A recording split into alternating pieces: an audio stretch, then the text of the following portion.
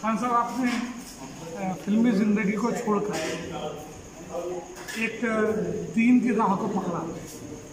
लेकिन ये काम अपने आप में एक बहुत मुश्किल काम था कि एक फिल्मी ज़िंदगी पर, ऐसे इतना भरी ज़िंदगी पर और ग्लैमरस ज़िंदगी पर एक ऐसी ज़िंदगी को फौकियत देना जो कि हकीकी तो है, लेकिन कुछ कांटों भरी भी है।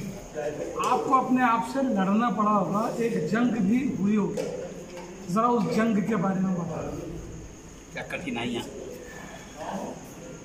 ये आपका सवाल तो बहुत अहम सवाल है। अलहमदिल्ला जब मैंने इस दुनिया को छोड़ा और छोड़ करके मेरे दीन की राह में आया तो काफ़ी मुश्किल का सामना करना पड़ा। हालात के दौर आए और हालात का आना बड़ो से है कि ये फ़र्ज़ के दायरे में है। क्या बात है? तो ये हालात नहीं आएँगे जैसे कि इम्तहान है। हालात जो है एक्चुअल में इम्तहान है। और इम्तहान ना हो और आदमी कामयाब हो जाए आदमी तरक्की कर ले तो ये हो ही नहीं सकता। जी। इसलिए अल्लाह ने नबियों को भी आजमाया और सहाबा को भी आजमाया। सहाबा जो है उन्होंने आजमाइश में पूरी पूरी तरह उतरे। हमारे ऊपर वो आजमाइशें तो नहीं आई जो सहाबा के साथ हुआ। जी। लेकिन आज के दौर और आज के वक्त के हिसाब से हम बहुत कमज़ोर हैं। सहाबा बहुत कवि थे उनका ईमान भी बहुत कवि था। और वो खुद हजूर पाक की सोबत में रहते थे। तो उन्होंने उस चीज़ को झेला।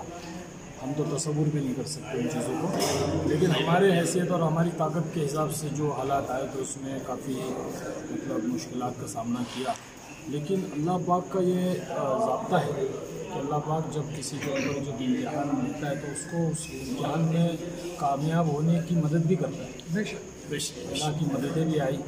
और वहीं से ईमान बनता है। कि जब आदमी हालात और परेशानी के दौर में चल रहा है, और वो काम उसका हो जाए और वो जो है मुश्किलों से निकल जाए, तब उसका ईमान बनता है कि यार करने वाली ज़्यादा अल्लाह की क्योंकि दावत तबलीग की मेहनत में ये बात सिखाई जाती है कि हमें अल्लाह के सिवा किसी के आगे हाथ नहीं फैलाना, अल्लाह के सामने किसी, अल्लाह के अलावा किसी के सामने झुकना नहीं है। अल्लाह के अलावा किसी से मांगना नहीं है। तो उस वक्त में जो हम अल्लाह से मांगते थे और हमारी रोना और हमारी आवाज़ारी ये सारी चीज़ों के ऊपर जब अल्लाह देता था जी। तो ईमान की कैफियत ही अलग हो जाती है तो उससे धीरे धीरे जो है सारे हालात भी अल्लाह ने छाटे और काफ़ी वो दौर मुश्किल का गुजरा। फिर अल्लाह की मददों को देखा।